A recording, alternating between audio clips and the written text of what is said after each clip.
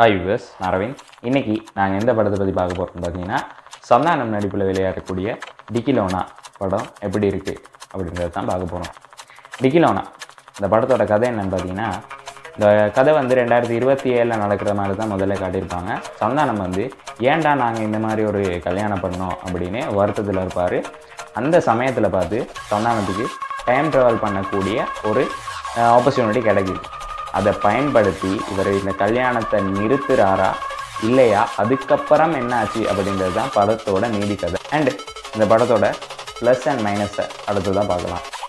ப்ளஸ்னு பார்த்தீங்கன்னா இந்த மாதிரி ஒரு கதையை எடுத்ததே முதல்ல ப்ளஸ் தான். ஏன்னா ஒரு சயின்ஸ் ஃபிக்ஷனாகவும் எடுக்கணும் அதோட அதில் கொஞ்சம் நகைச்சுவையும் இருக்கணும் அப்படின்றதுக்காக இந்த படம் எடுத்திருக்காங்க. ஸோ அந்த அளவுக்கு இவங்க முயற்சி எடுத்ததே ஒரு பெரிய ப்ளஸ்ஸாக தான் வந்து நின்றுச்சு அண்ட் ரெண்டாவது கேரக்டர்ஸ் பற்றி சொல்லணும்னா சந்தானம் அவரோட கொடுத்த கேரக்டரை அவர் நல்லாவே நடித்து தந்திருக்காரு. அண்ட் யோகி பாபு நல்லாவே நடிச்சிருந்தார் மூணாவது யாருன்னு பார்த்தீங்கன்னா நிழல்கள் ரவி இந்த படத்தில் இருக்கார். படம் ஸ்டார்ட் ஆகிற நேரமே எப்படி படம் ஸ்டார்ட் ஆகுதுன்னு பார்த்தீங்கன்னா நிழல்கள் ரவி கதை சொல்கிற மாதிரி தான் படம் ஸ்டார்ட் ஆகுது. நிழல்கள் ரவி யாருன்னு படத்தோட கடைசியில் தான் சொல்லுவாங்க. ஸோ அந்த சீன் வந்து ரொம்பவே பிரமாதமாக இருக்குது இந்த மாதிரி நாங்கள் படம் எடுத்துக்கிட்டாலே அதில் கொடுத்த காசுக்கு நடிக்கிற செட் ஒன்று அப்படியே வந்து நிற்கும். ஸோ அதில் யார் யார் சொல்கிறேன்னு பார்த்தீங்கன்னா மங்குஸ் மண்டையன் அவர் பேர் எனக்கு தெரியலை. பாஸ் என்கிற பாஸ்கரன் அப்படின்ற படத்தில் மங்குஸ் மண்டையன் சந்தானம் சொல்லியிருப்பாரு ஸோ அவர் கொடுத்த காசுக்கு நடிச்சிருக்காரு. அண்ட் ரெண்டாவது யார் சொல்லலாம்னு பார்த்தீங்கன்னா மொட்டராஜன்ற அவர் கொடுத்த கேரக்டரை அவர் கொடுத்த காசுக்கே நடித்து தந்துட்டு போயிருக்காரு. மூணாவது வந்து யூடியூபரான நம்ம பிரசாந்த் அவர்கள் இந்த படத்தில் பாய் பெஸ்டியாக நடிச்சிருக்காரு. ஸோ அவரும் கொடுத்த காசுக்கு நடிச்சிட்டு போயிருக்காரு. மற்றபடி அவருக்கு யூடியூப்லேருந்து நல்லா சம்பளம் கிடைக்கும்.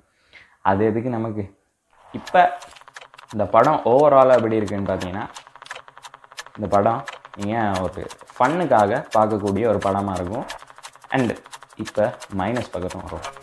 இந்த படம் சயின்ஸ் ஃபிக்ஷனாகவும் இருக்குது அதோட காமெடியாகவும் இருக்குது அப்படின்னு ஃபுல்லாக சொல்லிட முடியாது. ஏன்னா படம் ஸ்டார்டிங் வந்து ரொம்ப அற்புதமாக இருக்குது படம் எண்டிங்கில் வந்து நம்மளை நல்லாவே சிரிக்க வைக்கும். ஆனால் நடுவில் இருக்க சில இடங்கள் வந்து இந்த கதையை ஏன்டா போட்டாங்க இந்த இது என்னடா இப்படி நடந்து போய்கிட்டே இருக்குது அப்படின்னு எங்களுக்கு ஒரு தாட்ஸ் வருது. அண்ட் ரெண்டாவது மைனஸ் என்னன்னு பார்த்தீங்கன்னா யுவன் சங்கர் ராஜா யுவன் சங்கர் ராஜா தான் இந்த படத்துக்கு மியூசிக் பண்ணியிருக்காரு. ஸோ அவர் என்ன பண்ணார் அப்படின்ற விஷயம் எனக்கும் தெரியலை. ஏன்னா வச்சாலும் வைக்காமல் போனாலும் அப்படின்னு ஒரு பாட்டு இருக்குது ஸோ அந்த பாட்டு வந்து யுவன் சங்கர் ராஜா கம்போஸ் பண்ணதில் இளையராஜா கம்போஸ் பண்ணது. ஸோ எல்லா கிரெடிட்டும் இளையராஜாவுக்கு தான் போயிட்டு சேரும். அதனால யுவன் சங்கர் ராஜா இந்த படத்தில் என்ன பண்ணாருன்றது எனக்கும் தெரியல. மூணாவது மைனஸ் என்னன்னு பார்த்தீங்கன்னா இந்த படத்தில் இந்த கேரக்டர் எல்லாம் நீங்கள் ஏன்டா போட்டீங்க அப்படின்னு கேட்குற அளவுக்கு சில கேரக்டர் இருந்துச்சு. அதில் ஒன்று தான் முனிஷ்காந்த் ரெண்டாவது ஆனந்தராஜ். இவங்க வந்து டைம் ட்ராவல் எல்லாம் பண்ணுவாங்க. இவங்களை ஏன் போட்டாங்க அப்படின்ற விஷயம் தெரியலை. மொத்தத்தில் இந்த படத்தை பார்க்கலாமா வேணாமா அப்படின்னு கேட்டிங்கன்னா இந்த படத்தை கட்டாயம் பார்க்கலாம். படத்தை ஒரு தடவை பார்க்கலாம். ஏன் ஒரு தடவை பார்க்கலாம்னு சொல்லுவேன்னா ஒரு படத்தை எத்தனை தடவை தான் பார்த்தீங்க? ஆ?